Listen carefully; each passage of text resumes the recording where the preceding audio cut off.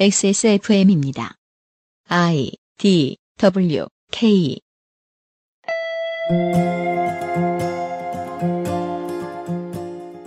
자식들은 선택에 의해 노부모를 요양보호시설에 보내드릴 수 있습니다. 당연히 그럴 수 있죠. 국가와 지자체는 평생 국가의 세금 내온 국민들을 돌보기 위해 여기 들어가는 비용을 세금을 통해 상당 부분 충당해야 합니다. 당연히 그래야 하지요. 시설에 입소한 노인들의 삶의 존엄성이 떨어지고 행복이 사라진다면 누가 책임져야 할까요? 국가가 맞는데 국가는 느리고 제 할 일도 바쁘니 언론이 부지런히 움직여야 할 겁니다. 반년의 시간을 들여 직접 요양보호사가 되어본 기자를 만나보겠습니다. 2019년 5월 마지막 주말에 그것은 알기 싫다는 한겨레와 함께합니다.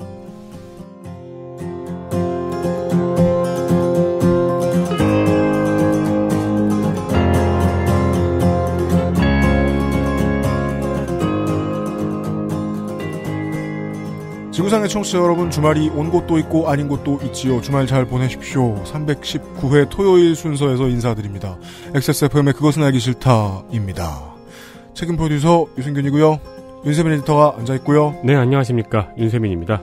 어제 하고 그저께 이 저 하나 이글스 선수들이 나오는 바람에 네. 제가 저 영광에 못 이겨서 시끄러워가지고 음.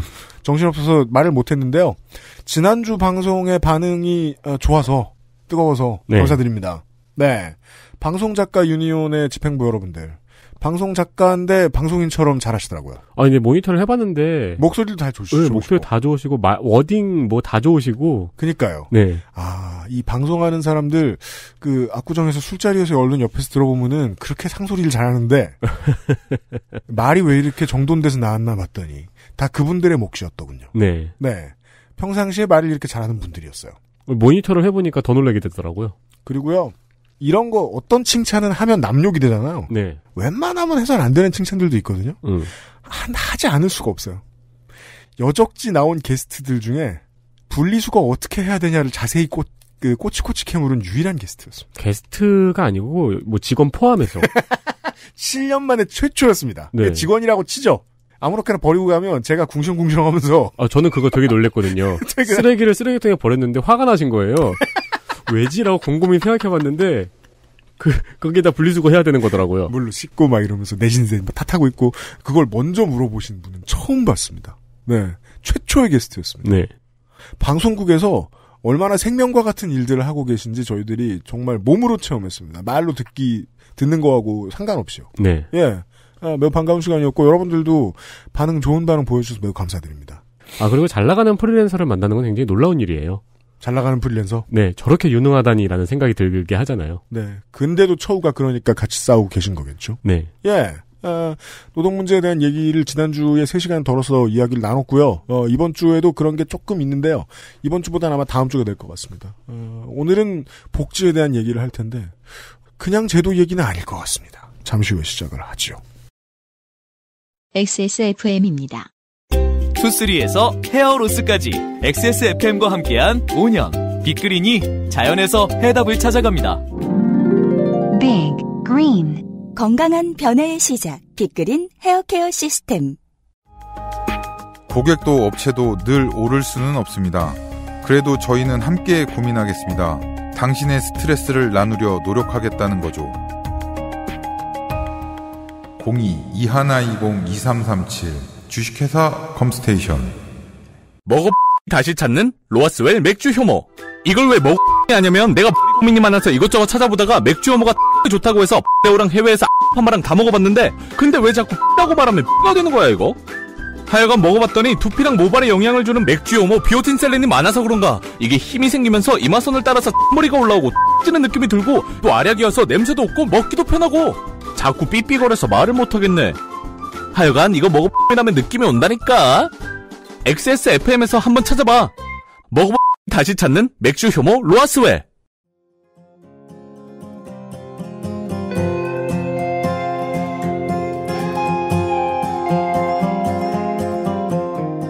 최근에 한겨레에서 이런 프로젝트가 시작됐습니다. 창간기획 대한민국 요양보고서입니다. 팟캐스트의 주된 청취자는 유튜브의 주된 청취자들보다는 한참 어립니다. 그래서 이건 유튜브용으로 아주 제- 제격인 컨텐츠인 것 같다는 생각을 음, 네. 특히나 어, 종이신문에는 아주 어울리지 않습니다. 그렇죠. 요즘 종이신문을 보는 사람이 적기도 하고 너무 글씨가 작죠. 어르신들은 80년대나 90년대나 2000년대나 2010년대나 종이신문으로 한겨레를 보지 않습니다. 네. 어, 정말 필요한 사람들에게는 가지 않을 것 같아서 저희라도 한번 받아볼까 해요.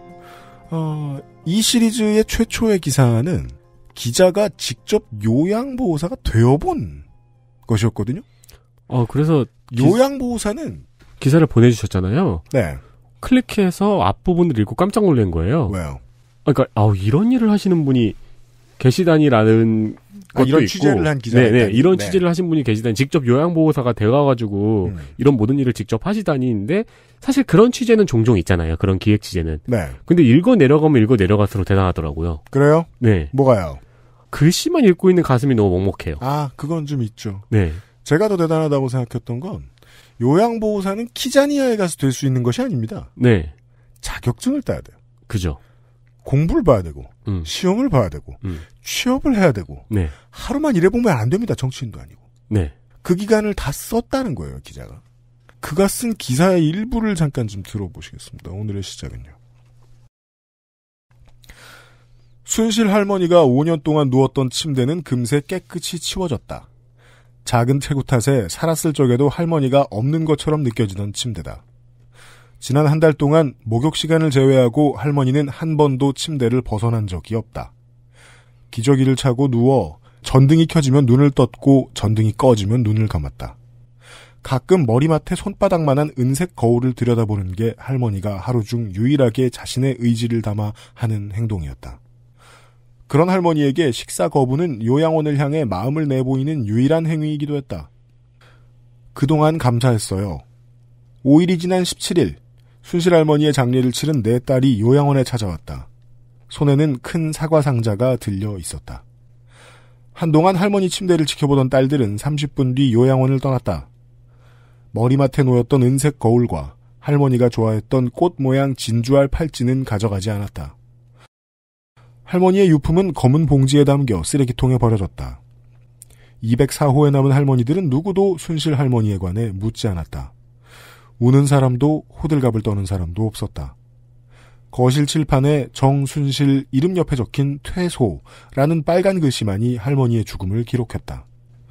2014년 요양원에 입소한 정순실 할머니는 그렇게 죽음으로써 요양원에서 퇴소했다. 어떤 감정이 다가오기 전에요. 안에 한참 들어가 보고 있지 않고는 나올 수가 없는 글입니다. 네. 이 취재를 직접 한 기자를 모셨습니다. 한겨레의 권지담 기자입니다. 반갑습니다. 네, 반갑습니다. 권지담 기자입니다. 이번 주와 다음 주에 권지담 기자하고 요 얘기를 좀 해볼 거예요. 네. 그 저희 스튜디오에 기자님이 오신 분이 몇 번 있긴 했는데 사람들은 김민아를 기자라고 부르죠. 네. 네. 이렇게 진짜 생생하게 기자가 왔구나라고 느껴진 적은 처음이에요. 똑바로 해본. 네. 그 PD 수첩 PD들 제외해야죠. 그분들은 PD니까. 아, 네. 아니, 방송을 준비하는 그 잠깐 시간 동안 몇 통의 전화를 받고 몇 건의 문제를 해결하고. 아, 되게 바쁘셨다. 네. 부끄럽습니다. 네. 한결에 아까 고백해 주셨어요. 한결에 입사한 지 얼마 안 되셨다고. 네, 뭐 부끄럽게도 아직 1년이 안 됐고요. 네. 원래는 SBS CNBC라는 경제 방송에 있다가 네. 지난해 7월에 한겨레에 와서 지금 24시 팀 사회부에서 근무를 하고 있습니다. 작년 여름에 오셨다면 네, 이 프로젝트가 거의 처음 맡은 큰 프로젝트예요. 그렇습니다. 거의 오자마자 이 고- 개고생을 네, 거의 제가 기자인지 요양보호사인지 약간 헷갈릴 정도로 상당 부분을 와서 계속 요양 기획에 투입이 됐었습니다. 음. 그렇죠. 네. 네. 왜냐하면 이 취재 하나를 위해서 작년 9월부터 공부를 시작해서 12월에 자격증을 따셔서 올해 1월에 취업을 하셨댔거든요. 네. 7월에 한결에 입사하셨으니까 네. 사무실 두 달 나오다가 그 다음부터 저쪽에 무간도를 가신 거예요. 네, 그렇다고 봐- 스파이로. 가신 거예요. 네. 근데 요양보호사 공부하실 때 공부만 하신 건 아니죠. 네, 저희가 240시간인데 거기에 실습도 포함이 되어 있습니다. 아, 그리고 그 사이에 회사 일도 하셨죠. 네, 그렇죠. 이게 이제 지난주에 저희가 말한 내용이거든요. 아, 네, 노동 문제를. 고발하면서 본인의 노동 문제를 챙기지 아. 못하는. 개고생하는 그죠. 네. 근데 저는 정말 이거는 거짓말이 아니라 어, 학원에 다니는 동안은 그 근무에서 배제됐었어요. 아. 네. 네. 그리고 취업을 하고 하기 전까지도 주말 근무를 좀 한 것뿐 외에는 음. 어, 학원과 이 요양 기획에 집중할 수 있도록 회사가 배려를 해줘서 제가 라인에서 보통 사회부 기자는 라인을 담당하고 있는데 네. 네. 거기서는 제외가 됐었습니다. 라인. 특별한 제보나 속보거리와 관계가 먼 일정 지역을 기자 한 두 명이 맡아 해당 지역의 기사가 될 만한 일을 취재하는 기자들의 업무 혹은 그 기자들이 일하는 지역을 뜻합니다. 사회부, 경찰 담당 기자들에게는 흔히 이런 지역별 라인이 배정되고 이 라인 시스템에 투입되는 기자는 보통 신참이지요. 그럼 지망생일 때까지 앞에서 6개월간 요양보호사의 기믹을 쓰고 계셨던 거예요. 네, 그렇습니다. 네. 그 학원을 제가 기억나는 게 지난해 딱 추석 때부터 시작했어요. 추석. 네, 네. 그리고 설날 일을 하기 시작했거든요. 음. 그 명절과 명절 사이를 반년이에요. 네, 음. 정말 네. 그렇게 보냈고요. 학원에서 그 중년 여성분들이랑 아주머니들이랑 학원을 매일매일 같이 다니다 보니까 반찬도 싸도 점심도 먹고 음. 같이 수다도 떨고 이런 과정에서 진짜 기자라는 사실을 자- 가끔 잊을 정도로 푹 음. 빠져서 이걸 준비했던 것 같습니다. 그러게요. 네. 나왔을 때 끝나고 나왔을 때 좀 허탈하셨겠어요. 아, 네, 아직 사실 끝나지 않아서 허탈한 감정을 아직은 느끼지 아, 못하. 이 취재 프로젝트는 아직 안 끝났죠. 네, 아직 벗어나지 못하는 느낌인데요. 네. 좀 요양원을 나올 때는 사실 저는 굉장히 아까 읽어주실 때 다시 울컥하긴 했는데 네. 어, 아직도 꿈에 할머니들이 가끔 나올 정도로 음. 그만둘 때 진짜 눈물이 많이 나왔었습니다. 네. 그 기사 내용에 나와 있는 요양보호사의 일과를 보면 이렇게 네. 써 있어요. 그 요양원의 일과죠. 네, 그렇죠. 아침 6시 기상 및 세수, 7시 20분 아침 식사, 오전 9시 기저귀 케어, 6, 9시 30분 목욕, 낮 12시 점심 식사, 오후 2시 20분 기저귀 케어. 이런 식이에요, 계속. 네, 맞습니다. 6시 소등, 저녁 7시 30분 기저귀 교체, 블라블라블라. 네. 그리고 이게 1분도 안 틀리고 매일같이 이렇게 진행된다고. 어, 1분만 빨거나 늦으면요, 호통이 내려와요. 누가요? 저희 요양보호사들 중에서 이제 고참, 고참. 선배들이 있잖아요, 선배라고. 네. 그러니까 제가 조금 급하게 움직이려고 하면 아니야, 아직 5시 10분이 안 됐어. 음. 뭐 이런 식으로. 네. 9분도 안 됩니다. 8분도 안 되고요. 11분도 안 돼요. 정말 칼같이 군대를 제가 가보진 않았지만 군대가, 군대라면 이렇지 않을까? 어, 정말 이렇지 않을까 느껴질 정도로 그런 게 칼같이 이 시간들이 정말 지켜집니다. 어떤 일이 있어도요. 지켜줘야 되는 이유가 있나요? 그러니까 짧은 시간 안에 많은 일들을 해야 되다 보니까 이게 하나가 늦어지면 다 같이 밀려요. 음. 짧은 시간에 많은 일을 하면 구체적으로 짧은 시간에 얼마나 많은 일인가요? 그러니까 사실 여기에 적혀 있는 거는 제가 핵심적인 거를 기사에 적은 거지. 음. 이 아침 뭐 예를 들어서 아침에 9시에 출근해서 기저귀 케어를 하잖아요. 음. 그리고 목욕 사이에 어떤 일이 있냐면 기저귀를 갈고 와서 이제 목욕을 시키기 위해서는 어르신들을 준비를 해야 되거든요. 네. 어르신 옷을 벗기고 침대 시트를 갈고 욕장 매트를 또 깔고 어르신을 휠체어에 앉히고 다시 목욕탕에 모시고 가서 씻기고 그 사이에 다시 오면 손발톱을 깎고 면도를 하고 뭐 이런 모든 과정들 그리고 청소 빨래 이런 것들이 지금 9시부터 사실은 거의 뭐 1시간 80분 안에 모든 것들이 이게 다 이루어져야 되거든요. 그러니까 이 제가 굵직하게 적은 거지 이 사이에는 요양보호사들이 계속 뭔가를 해야 해요. 그렇겠죠. 그리고 그 어쨌든 사람을 케어하는 거잖아요. 그렇죠. 상호작용도 있을 거 아니에요. 네, 만약에 한 분이 뭐 쓰러지거나 만약에 뭐 토를 하면은 이게 모든 일정이 또 무너지거든요. 뭐 싫다고 하실 수도 있고. 네. 그래서 정말 1분 1초가 생명처럼 좀 지켜져야 하는 부분들이 그래서 있습니다. 기획 기사는요. 대한민국 요양 보고서라고 검색하셔도 볼 수 있고요. 네. 더 간단하게는 돌봄 ORG라고 검색하셔도 볼 수 있습니다. 네. 평가를 그래서 간단하게 이렇게 하셨어요. 돌봄이 아니라 처치다. 네. 시간이 너무 없어서 그렇습니다. 저는 이게 정말 거의 한 문장이 이 요양원이 어떤지를 보여준 대표 저도 문장이라고 꼽고 싶은데요. 네. 저도 처음엔 돌봄을 대- 잘할 수 있을 것 같아서 들어갔어요. 나는 정말 노인들에게 잘해야지. 음. 어, 정말 좋은 케어를 해줘야지. 했지만, 나 옛날에 PC방 알바해봤는데 사람들이 나 되게 친절하다고 좋아했어. 네. 아, 정말요? 그 정도 생각으로 들어갔다면. 아, 그렇죠. 네. 하지만 정말 그거는 현실은 너무나 예. 전쟁터 같이 달랐고요. 음.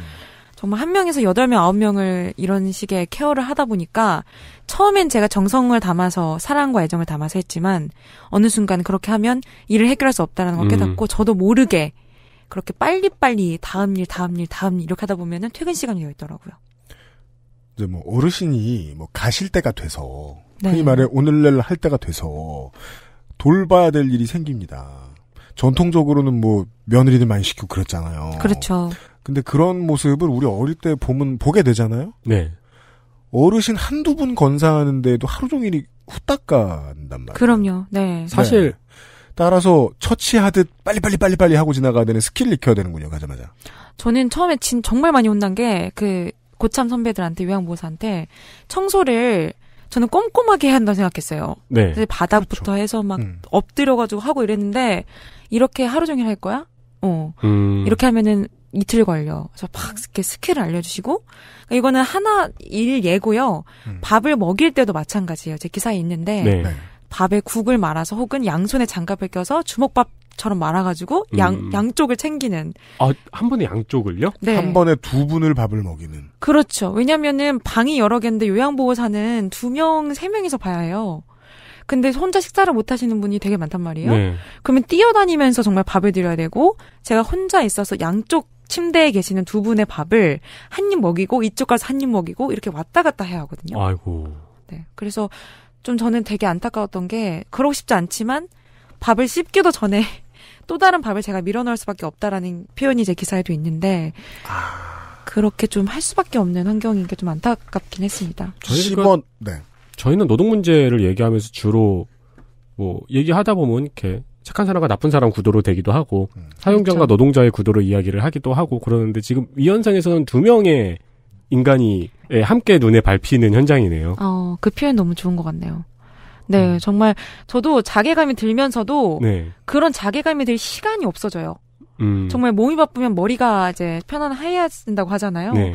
진짜 그냥 당장 눈앞에 있는 것들을 해치워야 된다는 표현이 잘 맞을지 모르겠지만 그러다 보면은 저도 모르게 그렇게 하고 있더라고요. 네. 네. 돌봄의 대상이 되는 어르신들은 사람이니까 아, 그렇죠. 한 숟갈 들었을 때 우리도 마찬가지입니다. 씹어 넘기는데 10초가 걸릴 때도 있고 11초가 걸릴 때도 있고 맛있으면 15초가 걸리기도 하고 그건 그리고 이가 좋은 우리 얘기잖아요. 네. 아, 네. 30초가 걸리기도 하고 근데 이걸 당장 처리해야 되는 요양보호사는 다음 한 숟갈을 떠주는 데까지 뭐 8.5초 안에 반전, 반드시 끝내야 된다.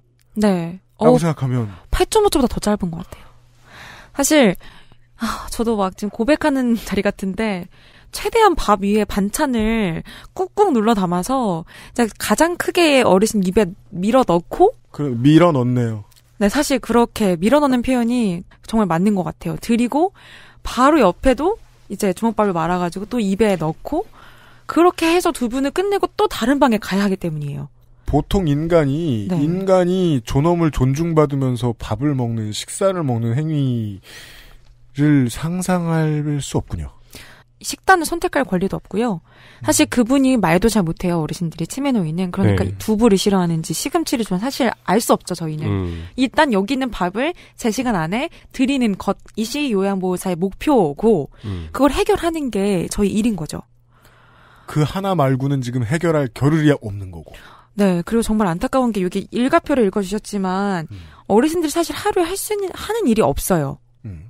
음. 그러니까 누군가가 내 기저귀를 갈아주고 누군가 목욕을 시켜주고 목욕도 일주일에 한 번이거든요. 네. 그러니까 사실은 식사 시간이 말씀하신 것처럼 어떻게 따지면 노인분들에게는 가장 오늘 하루 중에서 네. 뭔가 의미 있게 내가 보낼 수 있는 시간일 수 있어요. 그, 그렇죠. 그렇죠. 식사라는 건 그리고 원래 그런 일이잖아요. 네. 그렇죠. 누군가와 눈을 맞추며 뭐 어떻게 할 수 있는 네. 건데 모든 존재에게 그렇죠. 그 시간마저도 사실은 5분에서 10분 내로 처리가 되는 부분은 어 사실 너무 안타깝게 느껴졌고 죄송한 마음이 지금도 큽니다.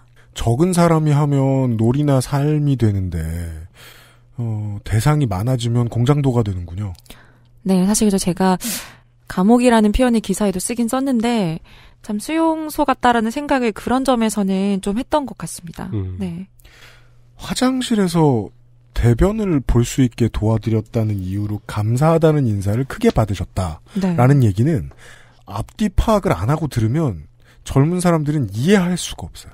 상상조차 할 수 없죠. 네. 저도 들어가기 전에는 그랬어요. 제가 화장실에서 대변을 놓는 이렇게 행복한 일이라는 거를 요양원에 가서 알게 됐는데 예를 들어 뭐 일주일간 있던 변비가 오늘 해결됐다. 그 정도는 모르겠는데 그렇다고 아, 해도 네. 그 화장실 문 앞에 서, 서 있던 사람한테 고맙다고 감사할 정도까지는 아니거든요. 뽀뽀하거나 막 울기 직전까지 가진 않죠. 음. 그런 반응을 받으셨다는 거 아니에요? 그렇죠. 예. 그러니까 저는 그때 일한 지 얼마 며칠 안 됐을 때여서 잘 몰랐어요. 음. 근데 할머니가 치매가 워낙 심하신 분인데 제가 기자에는 해자 할머니로 썼던 것 같습니다. 네.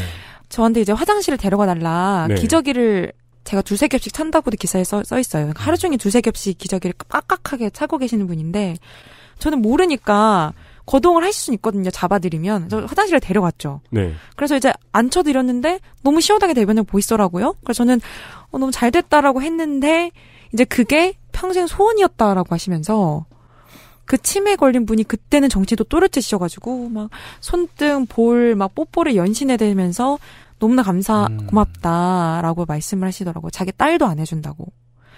근데 제가 이제 그 뒤로 기사에 있는데 요양보호사 선생님한테 혼났죠. 왜 기저귀 찬 노인을 사람도 부족한데 요양 화장실 데려가서 시간을 그죠. 시간 문제겠죠. 네. 그때 제가 정확히 기억해요. 2월 6일 설날 휴무였어요. 네. 근데 그때 두 명이서 18명을 봤거든요. 음. 설날요. 네. 근데 설날은 그 가족들이 또 오느라 정신이 없는 날임에도 플러스 이제 사람이 두 명밖에 없는데 제가 그렇게 한 분을 대변을 위해서 잡고 있다 보면 나머지 한 분이 모든 상황을 관리해야 하거든요. 음. 그러니까 그때도 제가 어르신을 닦아드리고 뭐 이런 과정에서 변기까지 막히는 바람에 기존에 싸셨던 대변을 닦고 그 다음에 또 변기를 치우고 변기를 네. 뚫고 또 거동이 불편하신 노인을 방까지 데려다 드리는데 거의 20분 이상이 걸렸어요. 그러니까 이제 어디 갔었냐, 뭐 하냐. 그러게 내가 어? 왜 그분을 기저귀 자신 분을 굳이 화장실에 데려가냐라고 핀잔을 들었죠. 이건 굉장히 믿을 수 없는 이야기라서 코멘트할 수가 없네요. 옆에 분한테 어마어마하게 과중한 일을 20분 동안 드리게 된 셈이네요. 그렇죠. 그리고 할머니 한 분 소원 들어드리다가. 네. 근데 한 명이 또 주방일까지 해야 되거든요. 그 18명의 노인을 계속 언제 낙상이 일어나고 언제 무슨 일이 날지 몰라요. 네. 그러니까 그걸 계속 봐야 하는 요양보호사 입장으로서는 제가 한 분의 대변을 대- 이미 기저귀를 차서 그냥 갈면 되는 일을 음. 제가 사실 어떻게 보면은 또 또 한 번 변기에 데려가서 대변을 보게 하고 다시 와서 기저귀를 또 갈았거든요. 네. 그러니까 두 번 일을 하게 된 거니까. 한 30분 쓴 거예요. 한 번 그, 그 일 때문에. 네. 그러니까 그게 이해가 안 되는 것도 아니지만 네. 제가 저도 어쨌든 몸이 늙을 거 아닙니까? 그렇죠. 제가 요양원에 있다고 하면은 화장실에 가서 앉기만 하면은 나는 변을 볼 수 있는데 음. 나를 돌보는 요양보호사가 그럴 시간이 없기 때문에 나는 기저귀를 차야 된다라고 한다면은 그것도 이해가 안 되기는 마찬가지잖아요. 아까 힌트가 나왔죠. 어르신들한테 가장 무섭고 흔한 사고가 낙상인데, 낙상은 언제 일어날지도 모르고 조용히 일어나고, 일어나면 반응을 시끄럽게 못합니다, 이제 노인들이. 네. 그러면 금방 생명을 잃을 수도 있어요. 네. 예. 이 사고를 미리 방지하기 위해서는, 지금까지 얘기 나왔으니까 청취자분들은 이해하셨을 거예요. 존엄의 일부를 빼앗게 되겠죠. 네, 음. 맞습니다. 네. 포기하게 되는 거죠. 근데 저는 먹고 싸고 되게 중요한 부분이잖아요. 인간의 삶에서. 네. 근데 그 부분을 포기하게 되는 거고. 그래서 전 너무나 뿌듯했지만 한편으로는 아, 하면서도 그 이미 묻어 있는 대변을 닦고 싸고 계신 거를 또 닦고 바, 바지랑 다리에 묻은 걸 또 닦고 변기를 뚫고 와서 또 기저귀를 갈고 바지를 갈아입히는 이 과정을 요양보호사들이 감내할 수 있냐라고 생각했을 때 네. 음. 저는 하, 솔직히 저는 자신이 좀 없더라고요. 그쵸. 그 한 분만 또 도와드린 거니까. 네. 참 안타까운 현실인 것 같습니다. 아, 그러면은 사실 노인분이 요양원에 계신 노인분이 화장실에서 변을 보는 시스템을 만들어 주려면 1대1밖에 없는 거네요, 방법이. 어, 적어도 이 박혜자 할머니처럼 보행기가 있어야지, 그러니까 보행이 완전히 자립이 안 되시는 분들은 그렇죠. 음. 처음부터 끝까지 누군가 지켜봐야 합니다. 네. 네. 아까 귀저귀 얘기하셨어요. 네. 제가 또 이해 못하긴 잘 모르는 분야가 이거예요. 귀저귀를 두세 겹을 해야 되신다. 아, 네. 이 이유도 결국 자주 돌보, 돌봐드릴, 한 분을 집중적으로 돌봐드릴 시간이 없기 때문에 생기는 일 같은데요. 네, 맞습니다. 일단은 남자 같은 경우는, 남자 어르신 같은 경우는 이렇게 어, 이 성기란 표현을 써도 괜찮죠? 아, 네네. 성기가 앞쪽에 있다 보니까 대변을 가지 대변을 보시지 않고 소변만 볼 경우에는 음. 이큰 패드는 갈지 않아요. 음, 전체 큰 기저귀 대기저귀가 있고 일자형 기저귀를 대고 그렇죠. 청기 부분의 기저귀를 한 번 더 말아서 저희가 입히거든요. 네. 그러니까 만약에 소변만 볼 경우에는 굳이 대기저귀와 일자형 기저귀를 갈 필요가 없는 거죠. 음. 딱그 성기 부분에 있는 일자형 기저귀만 빼서 갈면 네.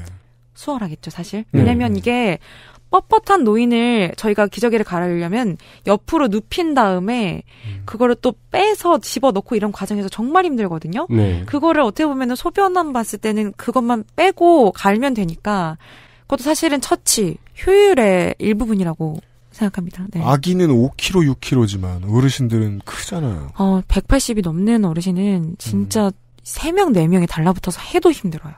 음. 네, 그쵸. 네. 근데 그러니까 욕창 부분이 그래서 생기는 건데 그래서 맞아요. 귀- 그건 뭐 누구나 알고 있는 문제예요. 귀저귀를 해야 되는 사람은 오래 안 갈면 욕창이 옵니다. 그렇죠.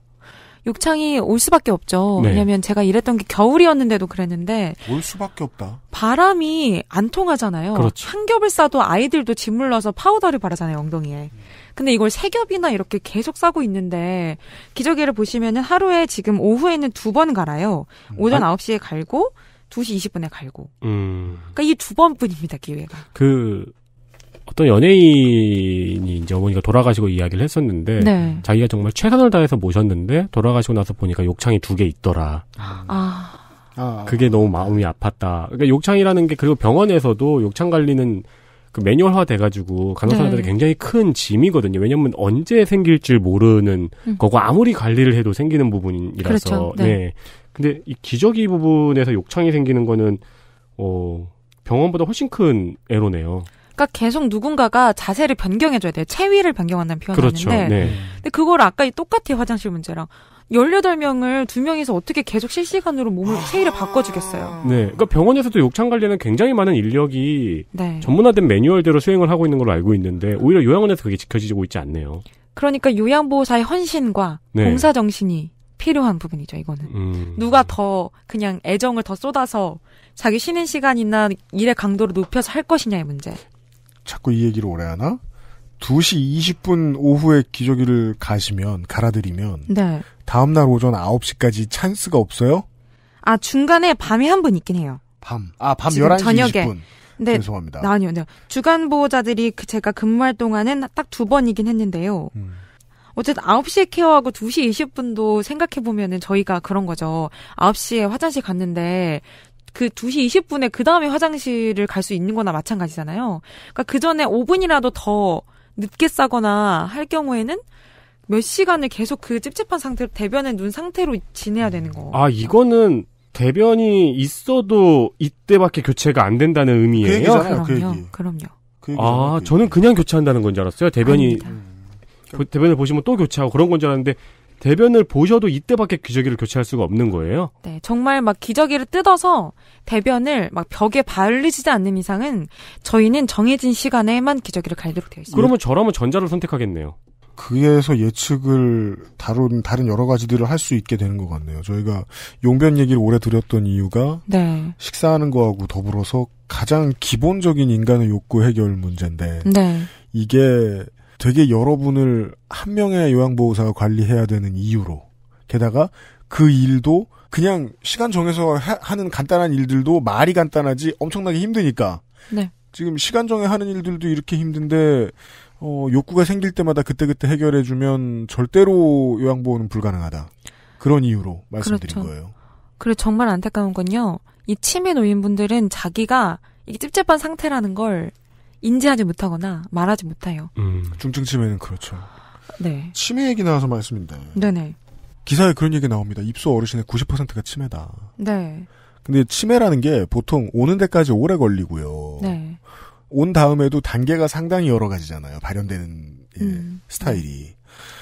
근데 이제 7, 80대 노인이 돼서 중증 치매가 오면 돌볼 시간이 별로 없으면 돌보는 사람도 그렇고 돌봄을 받으시는 어르신도 그렇고 되게 위험한데요. 어, 네 위험하기도 하고 치매 어르신은 한분 모시는 것도 지옥인데.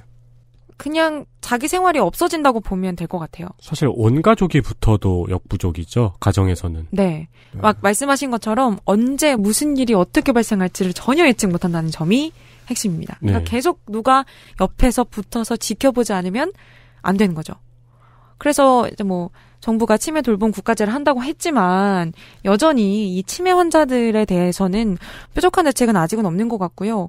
그리고 제가 현장에서 느꼈던 가장 큰 문제는 치매 관련해서 이 치매 환자랑 정신이 멀쩡하신 분도 있잖아요. 인지가 있으신 분이라고 그렇죠. 하는데 같은 방에 노는 경우가 있어요. 음. 그러면 아까 말한 것처럼 대변에 바르거나 대변에 싼 쪽으로 냄새가 나요. 음. 하지만 그 방에 있는 정신이 멀쩡한 분은 그걸 견뎌야 하는 거죠. 음. 네. 같은 방에 있다는 이유로요. 네. 그걸 분류할 수 있는 시스템도 아직 개발이 안 되어 있다. 어, 현장에 이제 올해 요양원을 운영하신 분 얘기 들어보니까 그러면 개인실을 써야 되거든요, 사실은. 네. 근데 그럼 10만 원을 한 달에 입소자가 더 부담이에요. 음. 음. 근데 인지가 있는 분이 10만 원을 더 낸다. 그건 사실 뭐 저희가 강요할 수 있는 부분은 아니죠. 그렇죠. 그렇죠. 그리고 벽으로 칸막이를 쳐서 구분을 하면 좋지만 그 소방법으로 음. 또 막아져 있다고 하더라고요. 요양원은. 음. 아, 칸막이는 소방법에 네. 때문에 쓸 수 없다. 그러니까요, 네.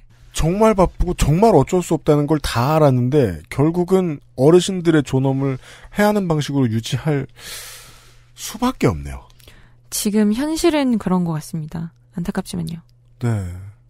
이거 그 보호사분들한테 인터뷰만 해가지고 들었으면 이렇게까지 다가오진 않았을 것 같아요. 네.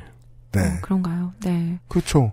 저도 그냥 기사를 읽고 사전 취재했을 때랑은 정말 현장에서는 저도 모르게 아까 말했지만 처치를 하고 있는 자신을 보면서 많은 생각을 했던 것 같습니다. 아까 얘기했잖아요. 안 그러면 옆에 보호사 여러분들한테 피해가 가니까. 네. 한 명의 보호사가 갑자기 인간적이 되고 감성적이 돼가지고 어르신 한 분 다 챙겨드리고 막 이것저것 다 해드리고 얘기 다 들어드리고 그 효도가 괜히 어려운 게 아니라고 옛날 사람들이 걔- 그래서 얘기한 거 아닙니까? 네. 예. 근데 정말 치매는 학대, 그러니까 폭력이나 이제 그런 부분으로 발현될 수 있다라는 점에서 굉장히 위험한 것 같아요. 저도 제가 직접 침을 맞기도 했고, 음. 음, 침을 맞거나 정말 때 제가 맞거나 꼬집힘을 당하기도 했고요. 네. 주로 뭐 치매 노인 분들이셨나요? 침을 뱉거나 하신 분들은? 네, 당연히 치매고 힘이 치매 노인이 갑자기 힘이 세질 때가 있어요. 그럴 때는 정말 맞아요. 일반인들도 컨트롤할 수 없을 정도로 세지거든요. 음. 그럴 때 만약에 그걸 꼬집거나 뭐 때리거나 욕을 하거나 침을 뱉으면 정말 저희 요양보호사들은 속수무책으로 당할 수밖에 없는. 음. 그러니까 정말 그런 것들도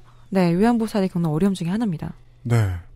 음, 이 정도가 intro라고 들어봐 주시면 좋겠습니다. 이런 세상이 있고 우리 중에 상당수는 이 세상을 거치게 될 겁니다. 네. 네. 이거는 아, 진짜로 남 얘기가 아니잖아요. 이번 주와 다음 주 토요일은 에, 다음 주 토요일에 그것은 알기 싫다는 이런 얘기를 하고 있어요. 광고 듣고 오겠습니다. XSFM입니다. 지루성 두피염이라 가렵고요. 머릿결은 푸석푸석하니 엉겨붙어요. 게다가 이젠 머리카락까지 많이 빠지니까 너무 불안한 거 있죠? 샴푸 아무거나 쓸 때는 이미 지난 것 같고 좋다는 거 많이 써봤는데 글쎄요. 뭐 없을까요? 빅그린 헤어로스 샴푸요. 구스베리 추출물로 모근을 더 건강하게 자연 유래 성분으로 자극 없는 세정력, 뛰어난 보습 효과와 영양 공급까지 Big Green 이젠 탈모 샴푸도 빅그린 헤어로스 샴푸 콕 집어 콕. 식구가 많아도 나 혼자 살아도 김치는 콕 집어 콕. 시원한 백김치, 감칠맛의 갓김치, 아삭한 총각김치. 무게도 포장도 원하는 만큼 다양해요. 그러니까 김치가 생각날 땐 콕 집어 콕.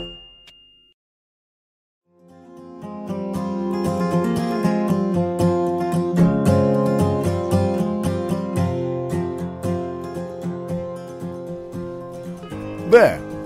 현장에 6개월간 잠입해 계셨던 권지담 기자와 함께 요양보호시설에 대한 이야기를 해보고 있습니다. 네. 어, 첫 시간은, 어, 오늘 시간은 요양보호시설에 이제 어르신들이 받게 되는 대접과 예, 어르신들의 일상들에 대한 얘기를 해볼 겁니다. 네. 기사에서 그 두 번째나 세 번째 기사에 이제 만나본 할머니, 할아버지들에 대한 얘기가 나와요. 네. 그 중에 첫 번째 나오는 인물이 별명이 엘사인 할머니가 있었다는 얘기예요. 네, 그렇습니다. 예. 어, 이 할머니 얘기를 좀 드리면 제가 일했던 요양원에 27분의 어르신이 있었는데요. 네. 그러니까 돌아가신 분을 포함해서요. 어, 잠깐만요. 그, 권 기자님이 일하시는 동안 돌아가셨다고요? 네, 맞습니다. 두 분이 제가 일하는 동안 돌아가셨어요. 두 달 일하셨나요? 한 달 일하셨나요? 한 달이죠. 한 달인데 27분의 어르신 중에 두 분이 돌아가셨어요. 네. 사실 그것만도 이, 이쯤 죽음의 문제 앞에 다다르면 치매가 있든 없든 네. 심란하거든요. 옆에 있는 사람들. 저는 제가 보게 될 줄 몰랐어요. 한 달 사이에 사실은요. 음. 근데 아까 읽어주셨잖아요. 제 순실 할머니 침대 이야기요. 음.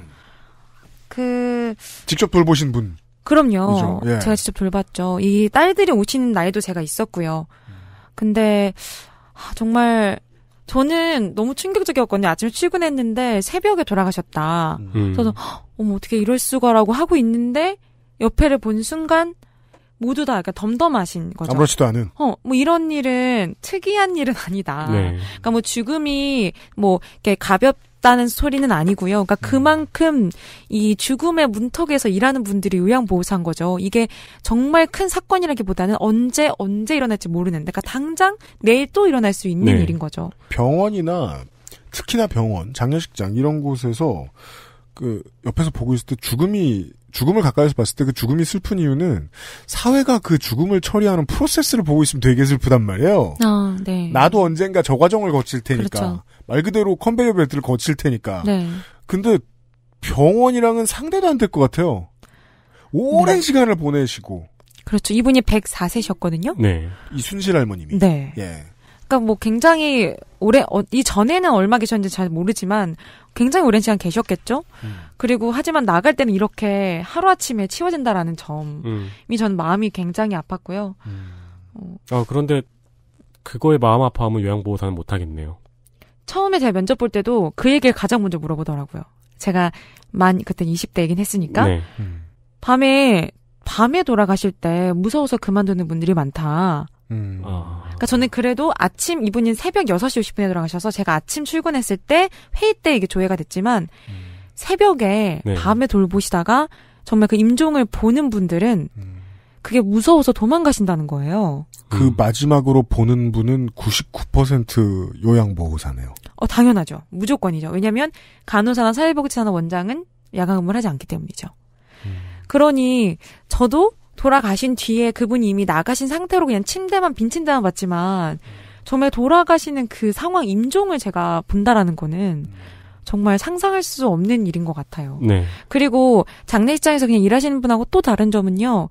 매일 피부를 부딪히고 목욕을 그렇잖아요. 시켜드리고 네. 기저귀를 갈고 네. 얼굴을 맞대고 그러니까 이게 저는 그래서 이 돌봄 노동은 그냥 서비스직과는 전 되게 다르게 구분돼야 한다라고 보는데요. 네. 그런 점에서 이 요양보호사들이 받는 그런 사망에 대한 느낌은 또 많이 다를 것 같습니다. 그러니까 생생한 삶의 마지막 과정을 그 병원은 며칠에서 몇 달을 보는데 네. 여기에서 일하시는 요양보호사분들은 몇 년 동안 보실 수도 네, 있는 거예요. 그렇죠. 한 명. 아까 이 순실 할머니는 5년 네네네. 단간 계셨다면서요. 네, 맞습니다.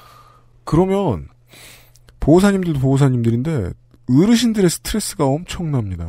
음, 예. 개인실이 아니잖아요. 개인실은 비싸니까. 네. 여러분들이 계시고 심지어 냄새도 알아요 서로 이제. 네. 예. 제가 또 기사에서 가장 슬픈 것 중에 하나가 그거였어요. 배변 색깔까지 닮, 닮아진다. 음, 네. 예. 생활이 일정해 버리니까 그렇죠. 공장도로. 네. 예. 음, 그걸 서로 다 아는 분들이 네.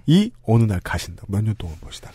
음. 그러면 받는 스트레스가 있을 거란 말이에요. 아, 아까 인지가 좀 있으신 분들, 네. 그러니까 저분이 돌아가셨다라는 걸 아는 분들은 저기 이제 내 나이에 대해서 있다라는 그런 스트레스를 말씀하신 아까 거죠. 이 제가 얘기하려다만 그 엘사 할머니라는 분 네, 아, 네, 엘사 네. 얘기라고 있었죠. 스트레스의 사례를 얘기할 때 꺼내 주시더라고요.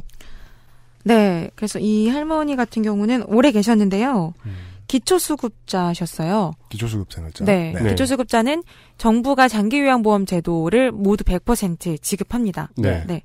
그런데 저는 이 할머니가 웃는 거를 본 적이 없어요. 한 달 동안. 음, 음. 다른 할머니들은 그래도 아까 뭐 뽀뽀를 한다던가 뭐 좋다 싫다 이런 표현을 좋으시네. 하시긴 하거든요. 아무리 치매가 있어도. 근데 거의 감정이나 표정이 없으셨고 음. 그래서 되게 날카롭고 차갑 차갑다는 의미에서 우리가 이제 이런 식으로 이제 별명을 지어드렸었는데 음. 아그 이야기를 해야 할까요? 제 마지막 날. 네. 네. 음. 어 그러시던 분이라서 음. 요양보호사들 말도 안 건네요 이분한테는. 왜냐면 괜히 건넸다가 잔소, 음. 잔소리를 듣거나 아, 그러면은 그냥, 그냥 차가우신 게 아니라, 뭐, 가까이 다가가거나 말 걸어야 하는 상황이면 승질내고 그러셨을 거예요. 어, 저는 진짜 무서웠던 게 제가 막내잖아요. 네. 신입이잖아요. 그러니까 이분은 인지가 굉장히 또렷했어요. 아까 90%가 치매라고 했는데 제가 보기엔 거의 10% 중에 그냥 한 분 정도인데 이거를 이렇게 하면 안 된다. 이건 저렇게 해야 된다. 물병이 뭐 미지근하다. 막 국이 뭐 뭐 뭐 국에 건더기가 많다. 막 이런 잔소리를 저한테 엄청 하셨거든요. 음. 그러니까 뭐 저보다 오래 계셨으니까 당연히 요양원의 생태를 잘 아시겠으니까 뭐 음. 당연히 듣지만 어 그게 저도 되게 날카롭고 무서워서 저도 막 굳이 가서 옆에 앉아 사실은 막 이런저런 말씀을 못 건넸어요. 네.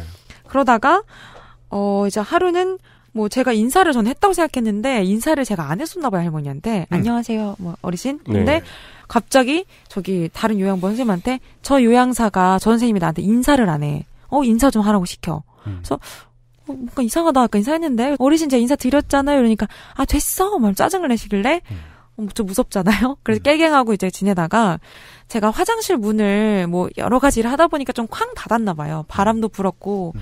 근데 이제 그때 뭔가 아 저 요양 저 요양보호사가 음. 뭔가 자기한테 나한테 화가 났나?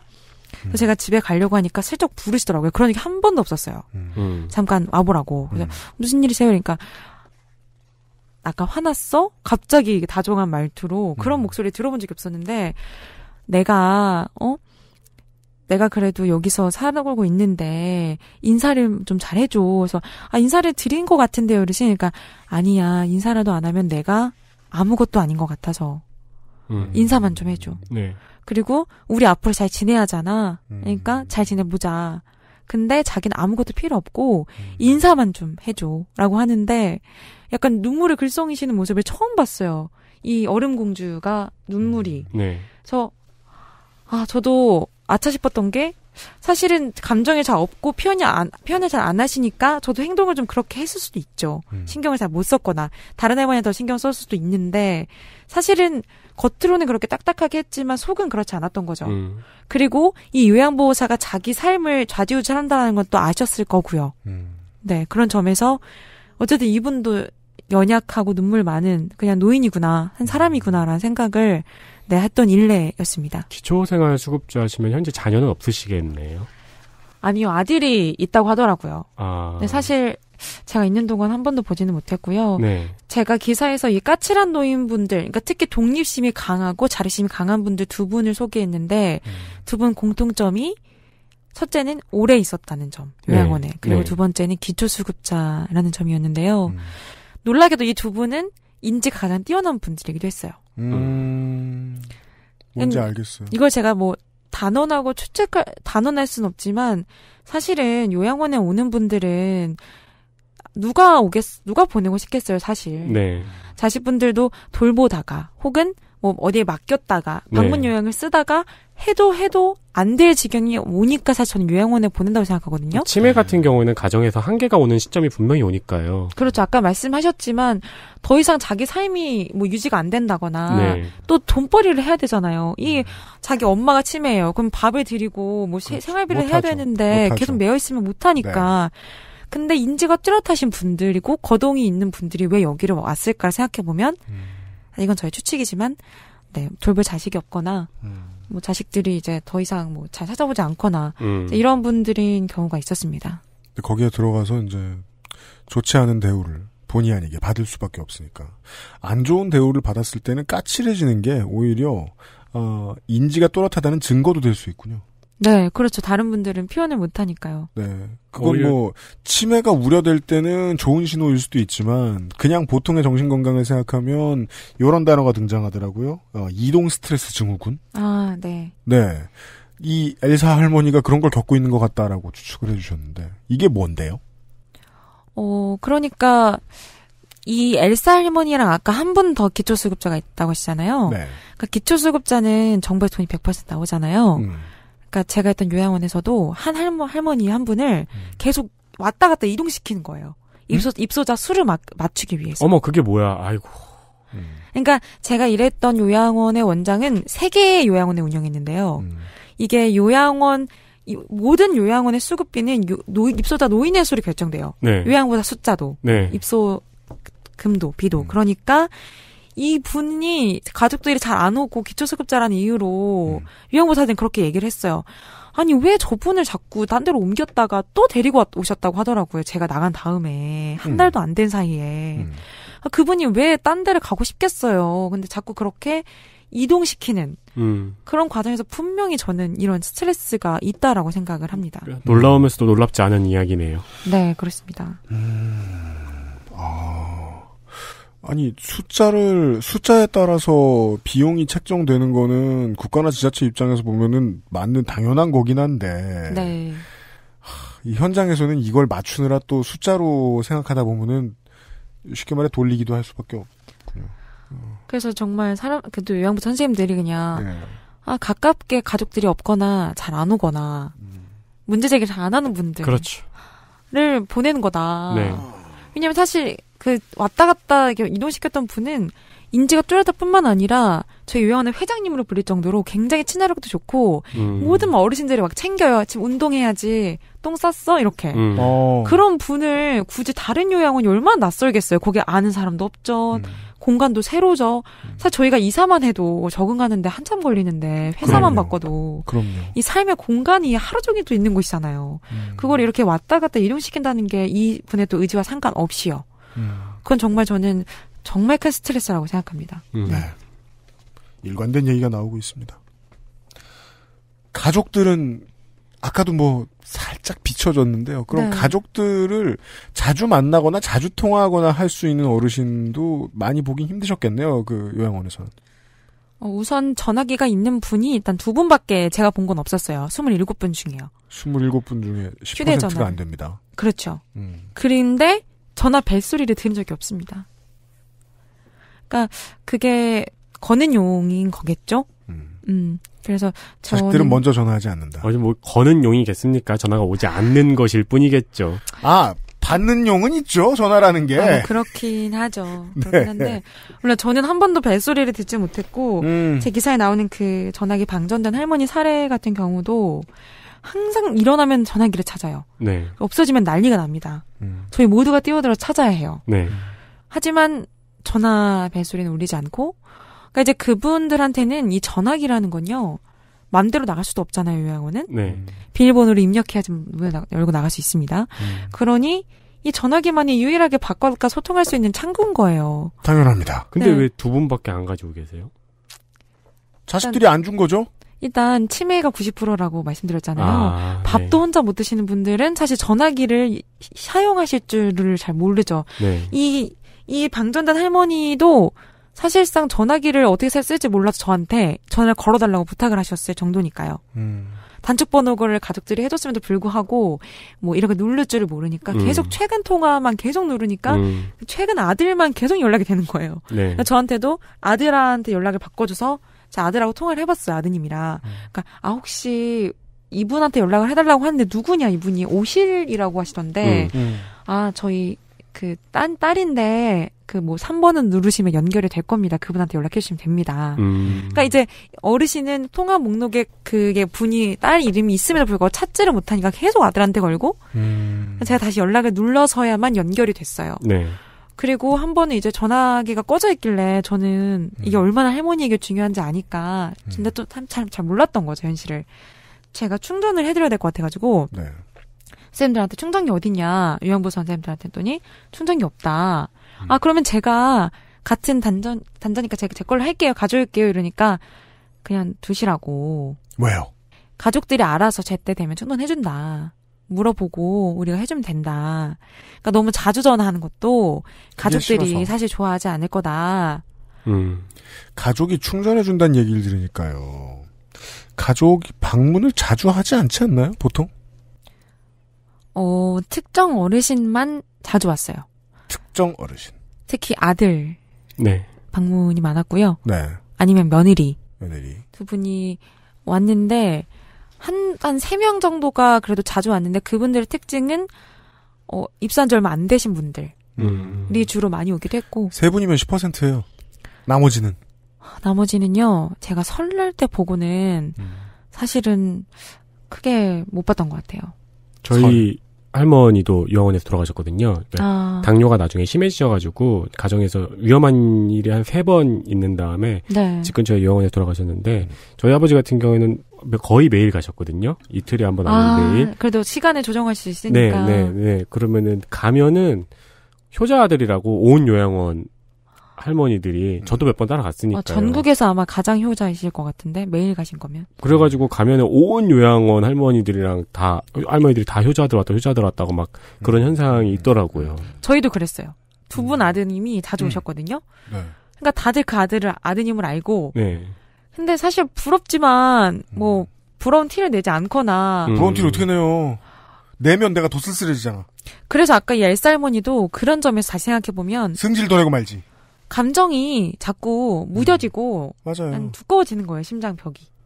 감정을 무뎌지지 않게 만들어주기 위해서라도 그 꼬투리라도 잡아가지고 승질이라도 내고. 그건 사실 요양원까지 아니고 우리들 부모님 도 그런 맞아요. 식으로 예, 저도 소통하려고 네. 하시잖아요. 가족을 심각하게 그리워하시는 분들도 계시겠네요. 그럼. 어, 그럼요. 아까 그 변기를 제가 모셔다 드렸던 네. 똥을 시원하게 놓게 해드렸던 혜자 할머니가 대표적이었는데 기자님을 며느리로 착각하시는 분도 계시다고.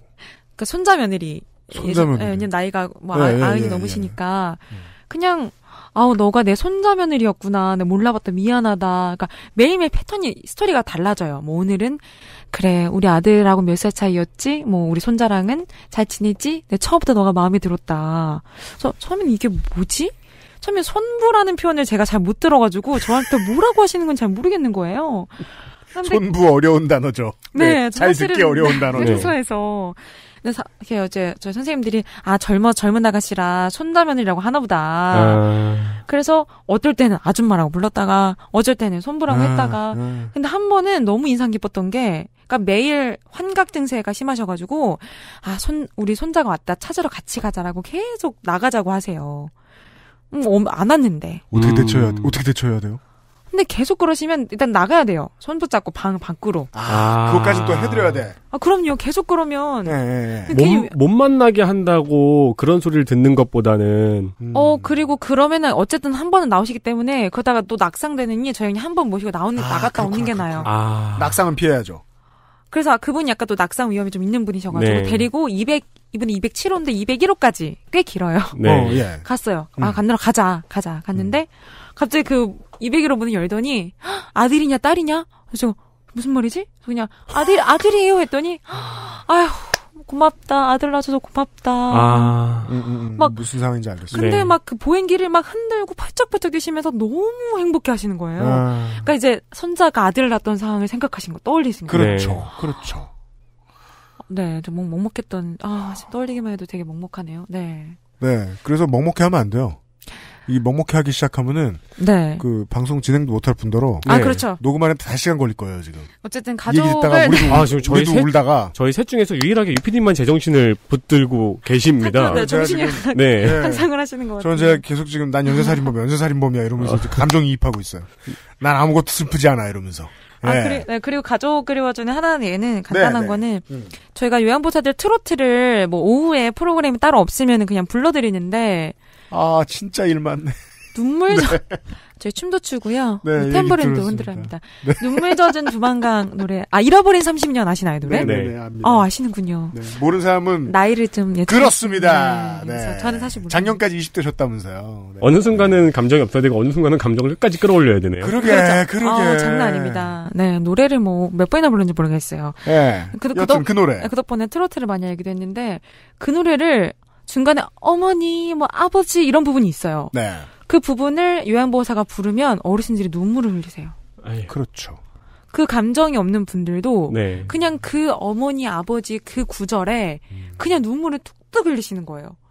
그러니까 이게 나이가 든다고 해서 몸이 아프다고 해서 네. 뭐 치매 걸린다고 해서 이 가족에 대한 그리움이 사라지는 건 아니고 제 생각에는 죽음이 다가올수록 더 그렇게 환각과 환청 그리고 가족의 그리움이 커지는 것 같습니다. 네.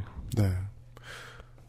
그래도 젊은 사람들이 의무적으로 명절이 되면 만나러 오게 할 겁니다.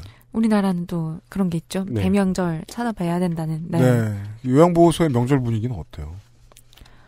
어, 전 제가 명절 첫날부터 일했거든요. 2월 4일부터 4, 5, 6을 내리 3일이 일했습니다. 아, 명절 모습을 처음 보셨군요.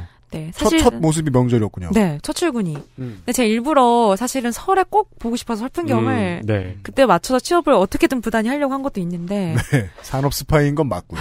네. 네, 맞습니다. 아니 요양원에서는 기자분이신 걸 알고 지금요? 원래 그 일하실 때 당연히 처음엔 몰라야지. 절대 모르죠. 아마 그렇죠. 지금도 원장은 모르는 것 같아요. 전화 안 하시는 거거든요. 어, 다행입니다. 사실 약간 다행인 면도 있는데. 네. 네, 어, 무슨 얘기, 아, 설 얘기하고 있었죠? 네, 설, 설. 어, 설이 되기 전부터 제가 설 직전에 인천에서 잠깐 3일 일했어요. 아까 한 원장이 3개를 한다 그랬잖아요. 네. 그러니까 같은 이유인 게 한 요양원에 요양보호사가 근무일수가 부족하니까 아, 보호사도 숫자 맞춰서 돌렸군요. 저를 3일만 아이고. 일찍 좀 나와줄 수 있냐고 인천 요양원에 먼저. 네. 그러니까 제가 취업한 곳은 부천이지만 3일 먼저 일을 했었거든요. 음. 근데 그때부터 이제 할머니들은 시작돼요. 하, 내 목욕 날짜가 언제야? 나 씻고 아들 집에 가야 되는데 어떡하냐고. 자기 목욕이 무슨 요일이냐고. 몇, 바쁘시군요. 며칠이냐고. 그러니까 그만큼 설을 목, 목 빠지게 기다리는 거예요, 어르신들은. 예, 며칠 예. 전부터 계속 세요. 매일 물어봐요. 그리고 반대로 생각하면은 모든 분들을 설 전에 시켜드릴 수가 없네요. 당연하죠. 아, 그러네. 모든 한 분들이 번입니다. 모든 분들이 설 전에 씻기를 원하시는데 네. 근데 다행히 그분이 설 전날 목욕 있는 거예요. 네. 어찌나 좋아하시던지. 그러니까 평상시엔 내가 냄새가 나도 된다는 거죠. 사실 사람 일주일 동안 안 쓴다고 생각해 보세요. 근데 그 모습을 가- 자기 가족한테 보여주고 싶을까요? 사실 아무리 가- 다- 자식들이 보냈지만 저는 자식들 앞에서만큼은 그래도 온전한 모습, 깨끗한 모습을 보여주시고 싶은 건 자존 노인들의 마지막 남은 자존심 같은 거라고 저는 생각을 하는데요. 그럼요. 부모님한테 옷 사드리면은 높은 확률로 부모님은 그 옷을 명절에 처음 입으시거든요. 음, 아, 음. 아끼죠. 아껴놓으셔. 그래서 어쨌든 설 전부터 그렇게 목 빠지게 기다리는 것부터 시작해서요. 음. 설 당일은 저희는 정신이 없긴 없는데요. 어, 다 오는 만큼 안 오시는 분들의 분의 소외감은 배가 됩니다. 그런 문제가 있겠죠. 모두가 오잖아요, 대부분. 네. 근데 방을 또 같이 쓰잖아요. 네. 생각해 보세요. 저는 옆에 할머니 가족이 막 대가족이 와요. 어때 손자 손녀가 오는 곳도 있어요. 왜냐면 1년에 한 번이기 때문에 제가 보기엔 제사가 끝나면 다 같이 몰려오는 것 같아요. 그렇죠. 음, 물론 오래 있지는 잘 않으셨는데 뭐 그래도 앉아 있는데 옆에 자기는 혼자 있어야 되는 거죠. 그리고 또 하나는 할머니는 아들을 미국에 뭐 유학을 보내셨대요. 네. 그러니까 아들이 있어야지 오는데 딸은 못 와요. 네. 아시죠? 뭐그 진짜 시댁에서 일을 해야 하니까요. 음. 그러니까 계속 그러 그럼에도 혹시나 계속 머리를 몸에 내밀고 기다리는 거예요. 딸랑 할 때마다 혹시나 아이고. 알죠. 알지만 혹시나. 그러니까 그 마음이 어떤 마음일까? 1년에 하루 기다리는 마음이. 그리고 진짜 되게 시- 재밌는 게 그렇게 막 축 처져 있는 어르신들이 가족이 오면은 그렇게 활기차듯이 찾으시고 저분이 저분이 맞나 싶을 정도로 그렇죠. 네 그리고 되게 이제 막 이제 여기가 아프다 저희가 아프다 이렇게 막 애교 전에 애교라고 생각하는데요 음. 수정도 부리시고 아이처럼 네. 네. 네, 하지만 근데 어쨌든 이게 전 불편한 진실이라고 생각하는 게요. 네네네. 유치원이 되게 요양원이랑 비슷한데 네. 비리 맞아요. 부분도 그렇고 네. 유치원은 엄마들이 굉장히 적극적으로 알리려고 하죠. 네. 그렇죠. 그리고 노력하죠 막. 근데 전 솔직히 요양원은 굉장히 조심스러웠던 게 이걸 과연 알고 싶으실까? 음. 과연 음. 오히려 그냥 좀 모르고 싶진 않으실까?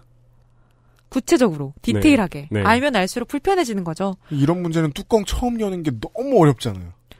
마음이 엄두가 안 드는 거죠, 막. 계층 네. 전체가. 예. 그래서 이걸 과연 보고 보면서도 내가 불편한 진실인 거죠. 너무 마주치고 싶지 않은 현실. 음. 어, 이어- 읽지 않을까라는 생각을 합니다. 네. 알겠습니다. 네. 아, 319회 토요일 순서에 권진환 기자하고 함께 했습니다. 오늘은 요양보호사 얘기도 요양보호사 얘기입니다만은 일단은 어르신들이 가시면 무슨 생활을 하시는가. 예. 그리고 또 사립하고 국공립은 또 다릅니다. 이것도 저 육아 시설하고 비슷하죠? 네. 아, 그거는 저희들이, 저희가 그것까지 다 다루진 못할 것 같고, 네. 일단 어르신들의 요양보호원에서의 생활에 대한 얘기를 한 시간 동안 나눴고 다음 주 토요일에는 권진환 기자와 함께 어, 요양보호사들의 생활 아마 들으시는 내내 도대체 왜 시스템이 그렇게 굴러가는데 라는 음. 질문을 계속 하고 싶, 하고 싶으셨을 거예요. 네. 네. 그것을 알아보려면 요양보호사의 노동 조건이나 상황들도 시스템이 어떻게 굴러가는지도 알아야 되겠죠. 네. 그리고 안에서만 볼 수 있는 디테일들도 다음 주 이 시간에 다시 한번 얘기를 해보도록 하겠습니다. 네. 어, 다음 주 토요일에 권진환 기자하고 다시 인사를 드리겠고요. 어, 저희들은 이번 주 수설 마무리 짓겠습니다. 권진환 기자 수고 많으셨습니다. 아 감사합니다. 네, 다음 주에 뵙기로 하겠고요. 유승균 PD하고 윤세민 에디터였습니다. 듣느라 수고 많으셨습니다. 안녕히 계십시오. 네, 특별히 입원하는 수고가 많으셨을 것 같습니다. 감사합니다. 네. XSFM입니다. I D W K